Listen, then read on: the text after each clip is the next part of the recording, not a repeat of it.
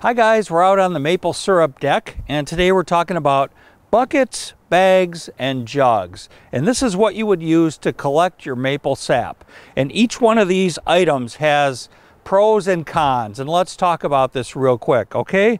So the first thing we have are buckets.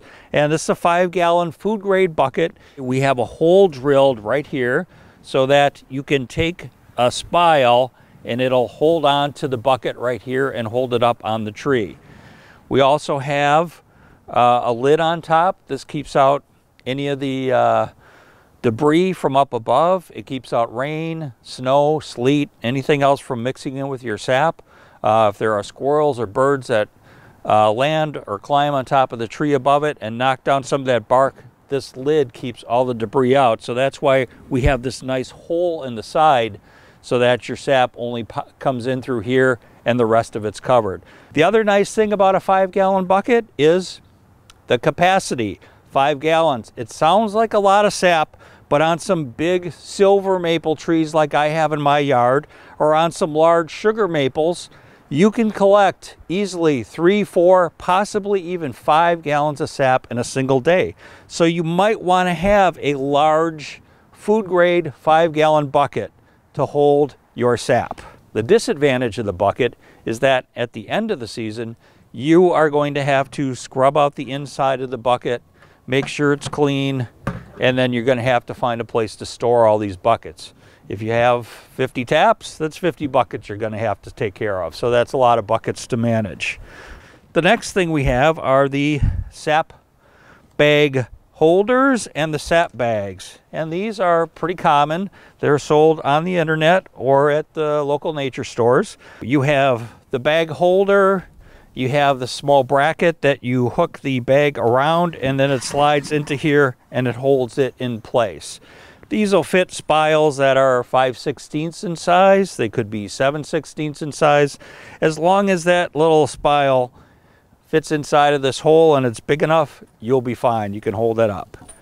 What's nice about the bag holder and the bag is that it is about three gallons in size. So that's the volume it'll hold, which is a pretty good amount. It's somewhat translucent, so you can actually see the sap inside the bag when it hangs on the tree, especially in the sunlight.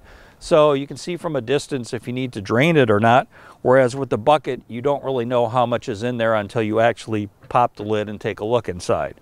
Another advantage to the bag is that at the end of the season, um, a lot of these bags get full of bugs like ants and moths, and sometimes they get a little moldy.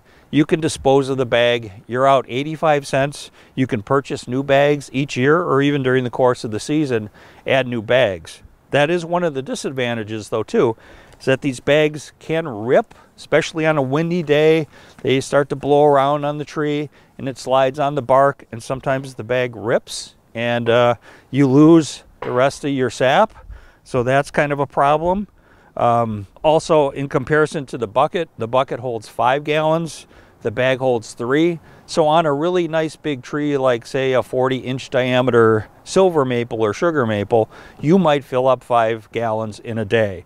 With these bags, it's gonna overflow, it could rip, it could tear this plastic bag off, and that would be a problem for you. Now, the last item we have are the super low cost items, or if you have smaller trees. These are just simple milk jugs, okay? And what I've done is cut a hole in here with a little pocket knife and that's where your spile fits on there. It's attached to the tree and it hooks on just like that. So it'll hook onto the tree and hold it on. The advantage to the jugs is that they cost nothing. They're milk jugs, juice containers, distilled water, whatever it is, you just clean them off and uh, make sure you rinse everything thoroughly so there's no odors or no foul taste in there. Food grade quality. At, at the end of the season, you can crumple it up and dispose of it in your recycle bin. So it's really easy to take care of. The disadvantage to the jugs is with the hole cut here, they really don't even hold one gallon of sap. If you have large trees and they produce two or three or four gallons of sap in a day, your sap's going to start to drip out of them and you're going to lose tons and tons of sap during the course of the season. So what I like to do is I take these jugs early in the season when the sap is first starting because the sap tends to flow pretty slowly. Some of the taps aren't even really active.